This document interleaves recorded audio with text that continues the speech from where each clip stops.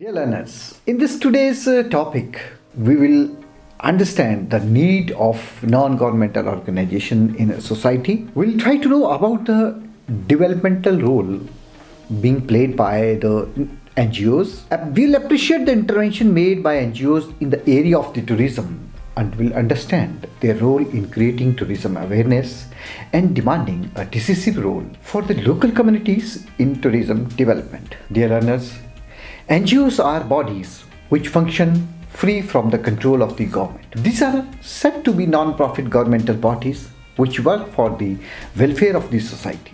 They act as a mediator between the society and the government. When some issues are not solved or reached to the government, NGOs they play an important role in conveying these issues and some issues which are intentionally looked down by the government, then these NGOs look after those issues. Oh, here those people participate who want to make the world a better place for every individual who's suffering. In today's time, NGOs are playing a significant role because many times we can see that state or the governmental bodies fail to function. It doesn't take any financial help from the government. Some work on their on and some take finance from those who are willing to do good for society. These NGOs they work on their on terms and principles. In these organizations, anyone can take membership and become their members. They can take membership by their own will and quit whenever they want to. Scholar Maishi says that it is not always free for everyone at times on demand people are enrolled. These NGOs set down their own rules, eligibility for the people to be a member. People who reach to these points get the membership and with already present members approval. That is why they are said to be voluntary functioning body. Now, let's see the role of NGOs in Indian democracy. India has nearly 3 billion non-governmental organizations working in a variety of fields ranging from disaster relief to advocacy for marginalized and disadvantaged communities. There are there the role and responsibility are immense in developing countries like India, which can listed as follows. Bridging the gap. NGOs endeavor to plug gap in the government's programs and reach out to the sections of uh, people often left untouched by state projects for example, providing aid to migrant workers in this uh, COVID-19 crisis. Also, there are they are engaged in diverse activities relating to human and labor rights, gender issues, healthcare, environment, education, legal aid, and even research. They act as a role of enabler, community level outfits, and uh, self-help groups are critical for bringing any change in the ground in the past, such grassroots organizations have been enabled by collaborations with bigger NGOs and research agencies that have access to foreign funding, acting as a pressure group. There are political NGOs that mobilize public opinion against government policies and actions also. To the extent such NGOs are able to educate the public and put pressure on public policy, they act as important pressure groups in the democracy. They also mobilize and organize the poor to demand quality service and impose a community system to accountability on the performance of grassroots government functionaries. Role NGOs also play in participative governance. Many civil societies initiatives have contributed to some of the path-breaking laws in the country, including the Environmental Protection Act 1986, Right to Education Act 2009, Forest Right 2006, and very famous is the Right to Information Act 2005. NGOs they also act as a social mediator. The social intermediation is an intervention of the different levels of society by various agents to change social and behavioral attitude with the prevailing social environment for achieving desired results of change in society. In Indian context, wherein people are still steeped in uh, superstitions, faith, belief, and customs, NGOs act as catalyst and create awareness uh, amongst the people also. Tourism is basically a travel for recreation, leisure, family, or business, usually of a limited duration. Tourism is not uh, like old times hospitality, it's a trade and source of profit for the countries. Tourism accounts for 30% of the world's trade of services. Tourism plays a very important role in the development and promotion of the country. Tourism is one of the main source of foreign exchange for the country. Tourism they involve the transfer of the capital from one country to another. In the modern era, the role of NGOs, these non-governmental organizations, is found almost in every sphere of life. NGOs are voluntary organizations that are funded by the state, sometimes by foundations, by business or by the private persons. It is seen that these NGOs are acting as a watchdog in the society. They act as critics and awareness agencies for the government, other organizations and common people. NGOs work at local, national or international level. Non-governmental organizations begin with the idea of addressing the problems of contemporary societies.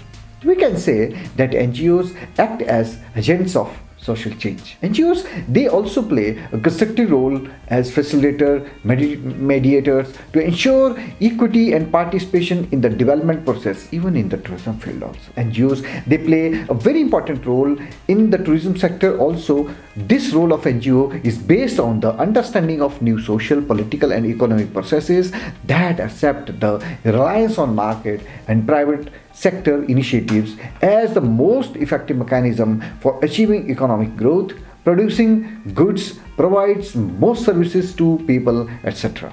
Tourism policies are imposed by the government on the people, sometimes unilaterally. Sometimes these policies are not people friendly and can deteriorate the environment of the tourism resort in one or another way. It is at the moment that the, these NGOs they play an important role. They not only make people aware of the negative effects of the policies but also take legal help in revoking these policies which have negative effect. In our nation, tourism is not a voluntary activity. It is a well-developed industry. The government imposes these policies a well-planned way. The people have every right every right to differ with these policies. It is there where the role of NGOs is prominent. These NGOs they act as a catalyst and try to help the people to know about the negative and positive impacts of the governmental policies. These NGOs then help the poor and vulnerable people against the negative impacts of some policies. The NGOs are playing a crucial role in community development, which is likely to expand in the coming years. As a result of the negative impacts of mass tourism at many destinations, the NGOs are raising vital issues. These issues have to be taken into account in destination development, planning, and marketing. This topic contains the role of the NGOs as agent of social change in the monolithic state structure. It further deals with their intervention in tourism and their role at the destinations. Dear learners, Let's have a look on the NGO's intervention in tourism. The role of NGOs in tourism is based on its understanding of the new economic, social, and the political processes that accept the reliance on market and private sector initiative as the most efficient mechanism for achieving economic growth, producing goods, providing most services to most people, etc. Markets are also positioned as being a necessary condition for sustaining democracy because they provide the basis for strong centers of power independent of the state. People at the destinations have unilateral tourism policies imposed on them. Tourism policy identified hill, seashore, forest, and places of worship as a potential site for tourism activity. At the same time, these policies refuse to recognize the traditional income generation methods or the people at tourism destination. And that the forest and seashore have their own natural and historical functions. We should not forget that tourism has emerged in the context of unresolved socio-economic structural issues such as land use pattern or the takeover of the traditional occupation by modern mechanized capital. Any initiative by the government in tourism by way of legislation or direct investment is envisaged within the framework of the tourism policy. Tourism is not a voluntary activity in nations like ours. It is planned and imposed on the people through various policies. At the same time, people have every right to differ from some wrong policies, which means challenging the state structure and the political system. Such differences to formulate new models rather than alien models dictated by the government or outside agencies. In the face of the unhindered entry of international capital and successive alienation, perhaps it is difficult to agree that the future is in our hands. Sometimes it is on the positive side. And if we take example of the critic of the developmental role of tourism, it emerges that tourism is viewed in the context of developmental model which has a political character. Development has taken place along with increased elitism, authoritarianism, militarism, and various forms of state repression in different parts of the world. All of these are threats to the culture, economy, and empowerment of the community. Development, along with globalization, threaten the sovereignty of the nation, eulogize a certain consumptive and luxurious lifestyle which is unsustainable by any means in most developing countries. Promote the net outflow of capital to affluent sections internally and it is based on the objectified view of the world where beaches, sanctuaries and mountains are seen as object of pleasure that negate people meaningfully relations between people and their environment. People in tourism destination do not have the luxury to debate various forms of the tourism, nor can they afford to treat each violations at tourism destination as an aberration.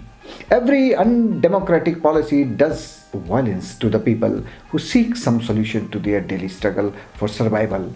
It is here that NGO play an important role of the socio-economic development of the nation. These organizations are formed for various purposes based on ideas conceived by individuals, groups for certain objectives and goals. The distinguishing role of the NGO is its voluntarism. The fact that an NGO can only invite voluntary involvement in its activities and must therefore use discussions, bargaining, accommodation, and persuasion in its dealing rather than bureaucratic control. But in the some analysis, it is the quality of participation that determines that legitimacy of decision making. Those who will be affected should have the right to be consulted in this process as well as form to express their needs. NGOs, they provide such a window. Dear learners, NGOs, they play a very good role in tourism awareness. There are different types of role which they can play in tourism. One, there are tourism NGOs that are involved in criticizing the policy in the hope of making it just. These NGOs are located in the process described There are other NGOs in tourism that work at tourism destination with problems directly born out of tourism development at the site. The former is not necessarily located in tourism destinations but plays a supportive role to the NGOs in tourism areas. There is a third kind of NGO, one involved in policy making on tourism a relatively new phenomena. Such NGOs, they play the role of consensus building for narrower purposes of the state missionary. By their very existence, however, these NGOs recognize the strength of the methodology of the other type of NGO and destructure the centralization of the decision making processes. The tourism NGOs make a critic of the policy by exposing the problems in it. These NGOs are research groups that make a detailed study report on the policy. Their findings are circulated among other researchers, activists, individuals, NGOs, governments, etc. After which they come up with an alternative policy critic. The government at some time takes into account the voices of these NGOs and their findings and inputs them into the policy. By this action, the government is involving the NGO in a sense of policy making. The NGOs consider their critiques and alternative policy models as a check or pressure against the government policies. A major aspect of a tourism NGO is to raise awareness among people about their power to intervene with the center of the power with policies that they deemed fit. The seed of an alternative lie in the people's ability to differ on policies at one level, which can be done with the inputs of the tourism NGOs and policy manifestations at tourism destinations by NGOs in tourism on the other. It also lies in the realization of the people in tourism destinations that the ultimate power lie in their hand in decision making since it is their little world that is at stake. It is this process of decision making that determines what kind of tourism a particular people region should have if this particular people region should have tourism at all. To differ on policy is not alternative policy making. It is to perpetuate and widen the area of dispute and enhance the collective identity of people in dispute. This act of differing with the dominant power structure will influence central political power. With the positive and the negative impacts of earlier policies of the center, tourism NGOs can evaluate the effectiveness of present policies. NGOs' role at the destinations. NGOs in tourism destination areas work on tourism issues based on their need to understand changes affecting the communities in which they are working in due to tourism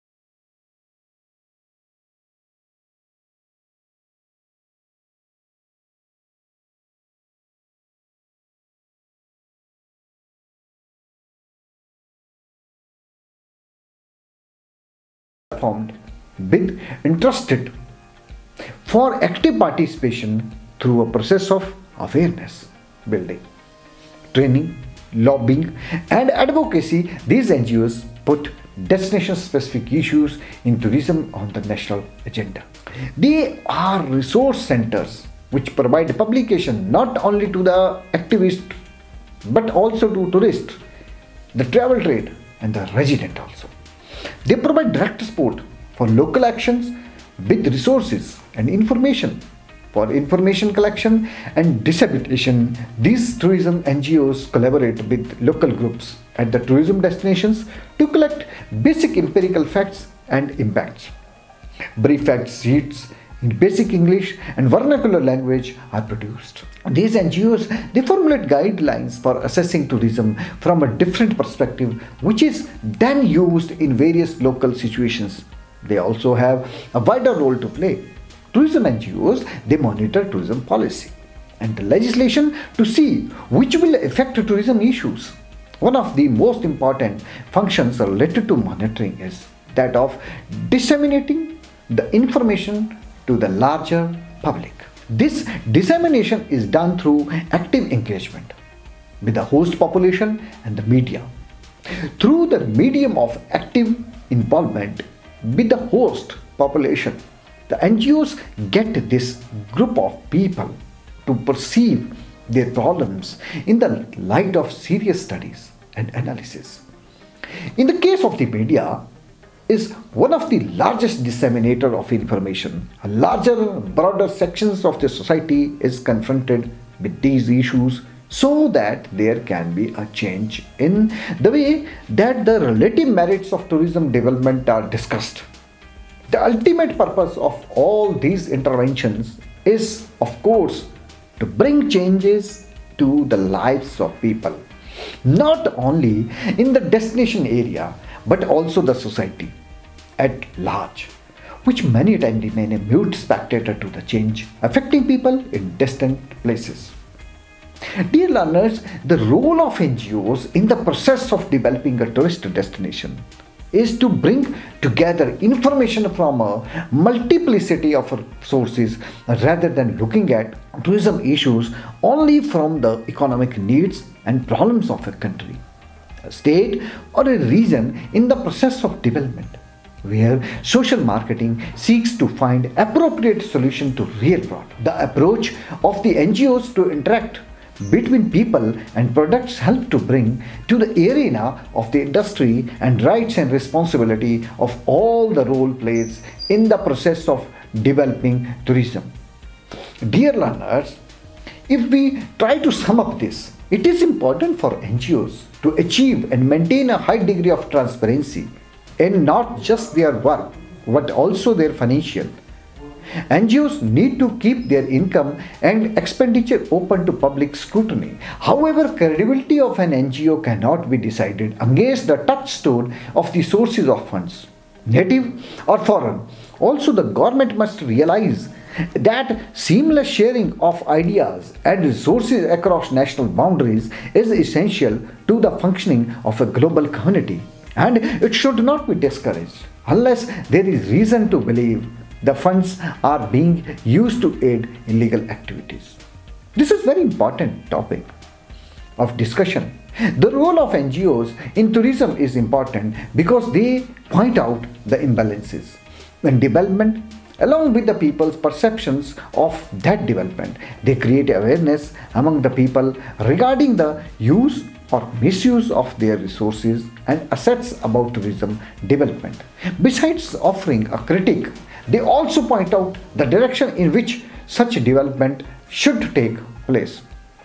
They have uh, demonstrated the negative impacts of tourism on the environment, land use, culture, etc. The tourism industry and organization must take note of the NGO's viewpoint while designing, developing, and promoting tourism products.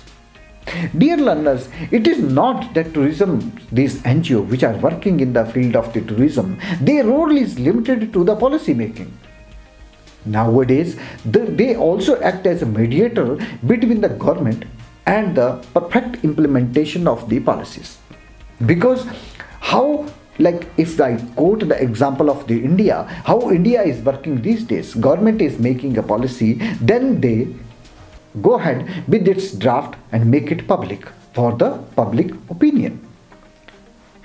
Here comes another role of the uh, NGOs. They discuss these draft in public, they research, they provide all the necessary inputs to the government, which earlier the government lacked. Initially, these NGOs they acted as a critic to the government policy, but now the NGO's role has been changed a lot. Now they are acting as a supplementary role to the government also. They are providing the government with the necessary inputs. They are providing government the necessary research that how these policies to be framed, that this new thing is required in this policy, so that this policy will be in favor of the common people. Generally, these NGOs they play an important role for the proper dissemination proper the knowledge proper awareness of the policies. Even they train the local people also that how to get benefited of the government policies government plans government schemes. In case of the tourism like tourism is also amongst the one of the msme area in india. But people they are not very well aware about it. But government how government is going to tell everybody that you can take benefit of these things? So sometimes these NGO they play a very very important role specifically in India because they what they do they train the local people. They ask the local people. They make them aware about these are the some of the policies good policies which government is offering. And you can take the best benefit of these policies. So here comes a very important role of the NGOs because they act as the proper facilitator, proper mediator for the policies, for the good policies also. Even at some places, the NGOs they have increased the attraction of the tourism products at the destinations. And they are also very much particular about the what kind of tourism is developing at those areas. One of the very good example of some NGOs is like Taragram, very near to Orchha. There is one another NGO which is with the name of Rose Society, which is working in Kanda. There is another NGO with the name of Sangla Valley Sustainable Development Society, which is working in deep Himalayan area. So, such kind of these products also increase that attraction of any particular destination. Thank you very much.